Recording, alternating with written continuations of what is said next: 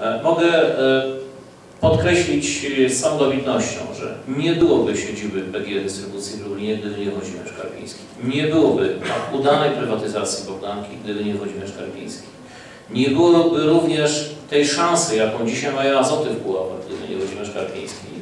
I wreszcie nie byłoby dzisiaj tych stabilnych fundamentów, podstaw do budowy rozwoju Lublina, e, e, gdyby nie współpraca e, z Włodzimierzem.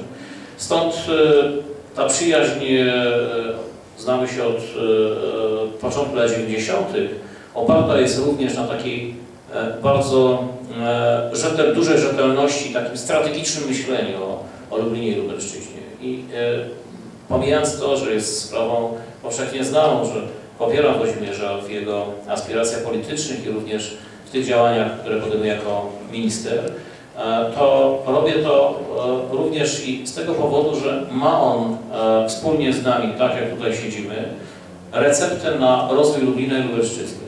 E, Dzisiaj stoimy właściwie przed e, dużymi problemami, jak nadążyć z infrastrukturą, którą tworzymy. Polska jest w budowie, Lublin jest w budowie, Lubelszczyzna jest w budowie.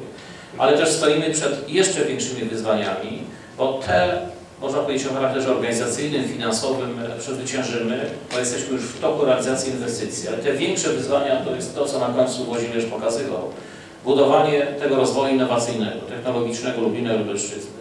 E, To nam się powinno udać, między innymi dzięki tym krokom zrobionym już wcześniej.